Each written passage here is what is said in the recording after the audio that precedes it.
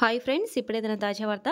ముఖ్యమంత్రి తన పదవికి రాజీనామా చేయడం అయితే జరిగింది. సో దాంతో రాష్ట్రంలో మళ్ళీ అయితే ఎన్నికలు నిర్వహించాలంటూ ఈసీ సంచలన ప్రకటన విడుదల చేయడం అయితే జరిగింది. వీడియో ఇన్ఫర్మేషన్ తెలుసుకుందు వీడియో మీకు నచ్చితే లైక్ చేయండి. వీడియోని స్కిప్ చేయకుండా చివరి వరకు చూడండి. ఇక లేట్ చేయకుండా మనం అసలు వీడియోలోకి వెళ్ళిపోతాం ఢిల్లీ ముఖ్యమంత్రి అరవింద్ కేజ్రీవాల్ సీఎం పదవికి రాజీనామా చేసినట్లు ప్రకటించడంతో ఢిల్లీ రాజకీయ వర్గాల్లో కలవరం రేగుతుంది. సీఎం పదవికి రాజీనామా చేస్తున్నట్లుగా కేజ్రీవాల్ ప్రకటించడం ఆక్షరం కలిగిస్తుంది. కాగా ఢిల్లీ సీఎం అరవింద్ కేజ్రీవాల్ సీఎం పదవికి రాజీనామా చేసినట్లు ప్రకటించిన నేపథ్యంలో ఇప్పుడు సామాజిక కార్యకర్త అన్నా హజారే కేజ్రీవాల్ నిర్ణయంపైన స్పందించారు. దీనిపై అన్నా హజారే మాట్లాడుతూ అరవింద్ కేజ్రీవాల్ రాజకీయాల్లోకి వెళ్ళాలని నిర్ణయించుకున్నప్పుడు నేను నిరాకరించాను అని అన్నారు. ఈ సందర్భంగా అన్నా హజారే మాట్లాడుతూ రాజకీయాల్లోకి రావద్దని సమాజానికి సేవ చేస్తే గొప్ప వ్యక్తి అవుతారని అరవింద్ కేజ్రీవాల్కి ముందే చెప్పాను. మేము చాలా సంవత్సరాలు కలిసి ఉన్నాం. ఆ సమయంలో రాజకీయాలకు రావద్దు అని పదే పదే చెప్పాను.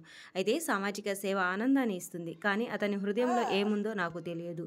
ఢిల్లీ ముఖ్యమంత్రి అరవింద్ కేజ్రీవాల్ జైలు నుంచి విడుదలైన రెండు రోజుల తర్వాత తన సీఎం పదవికి రాజీనామా చేసినట్లుగా ఆదివారం ప్రకటించారు. మరియు ఢిల్లీలో ముందస్తు ఎన్నికలకు డిమాండ్ చేశారు. ఈ సమయంలో ఆయన మాట్లాడుతూ ప్రజలు నిజాయితీగా ప్రమాణం చేసే వరకు ముఖ్యమంత్రి పదవిలో కూర్చోరు.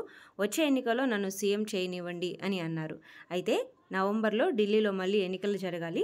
అయితే ఎక్సైజ్ పాలసీకి సంబంధించిన అవినీతి కేసులో శుక్రవారం తీహార్ జైలు నుంచి బెయిల్ పైన విడుదలైన కేజ్రీవాల్ మరికొద్ది రోజుల్లో ఆమ్ ఆద్మీ పార్టీ సమావేశం నిర్వహించినట్లుగా తెలిపారు. ఎమ్మెల్యేలు పార్టీ నేతలను అరెస్టు చేస్తున్నారు. ఫిబ్రవరిలో ఢిల్లీలో ఎన్నికలు జరుగుతాయని అయితే నవంబర్లో మహారాష్ట్రలో జరిగే ఎన్నికలతో పాటుగా దేశ రాజధానిలో కూడా ఎన్నికలు నిర్వహించాలని నేను పట్టుబడుతున్నానంటూ కేజ్రీవాల్ చెప్పడం అయితే జరిగింది.